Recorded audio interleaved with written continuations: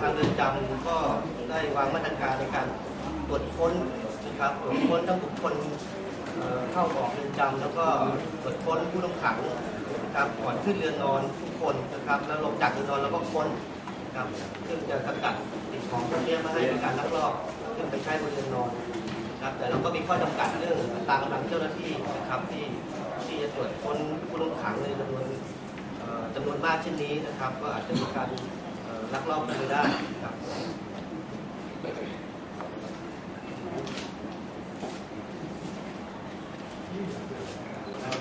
ทางกรมราชทัณฑ์แล้วก็ในจำพิเศษธนบุรีเนี่ยก็ได้รับความร่วมมือกับทางฝ่ายตำรวจนะครับโดยเฉพาะสำนักานตำรวจชาติแล้วก็ทางเอ่อเอ่อสนสมัยดำและตำรวจในพื้นที่นะครับที่มาร่วมในการจู่โจมตรวจค้นนะครับ ซึ่งเป็นการวางแผนร่วมกันซึ่งเป็นความลับที่ถูกที่ไปประชุมกัน ที่พื้นที่ข้างนอกนะครับ ไม่ได้ประชุมที่เรือนจำนะครับ แล้วก็ใช้เวลาในการจู่โจมเนี่ยกระชับมากไม่เกินสองชั่วโมงนะครับแล้วก็จู่โจมพร้อมกันทั้งหกแดนนะครับทั่วเรือนจำก็ถือว่าเป็นบิ๊กคินนิ่งของเรือนจำพิเศษธนบุรีด้วยนะครับ ซึ่งสิ่งของต้องห้ามเนี่ยก็จะไปลงลงรายการไว้นะครับ ซึ่งจะต้องรายงานไปยังกรมราชการต่อไปนะครับ ขณะนี้ผู้ต้องขังทั้งหกรายมีประมาณสักกี่คนเอ่อประมาณเอ่อ5,300กว่าคนนะครับ ซึ่งเอ่อก็ถือว่าเป็น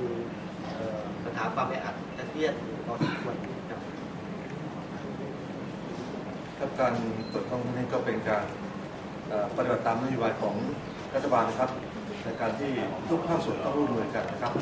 ทั้งในการทุกส่วนทั้งราชการทั้งตทั้งสำนักงานตรวจแห่งชาติ และฝ่ายอื่นๆด้วยนะครับรวมทั้งปปส ซึ่งได้มาร่วมตรวจค้นในวันนี้นะครับ ผมขออนุญาตเรียนเสริมนะครับส่วนถ้าเราเจอสมมติว่าเราเจอเศษกระดาษในซองบุหรี่หรือว่าซองยาเส้นที่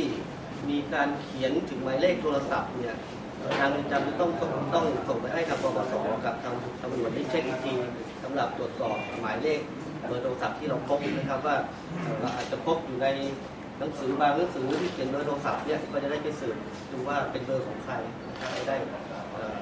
ไปขยายผลเพื่อให้ทางเจ้าหน้าที่ตำรวจไปขยายผลด้วย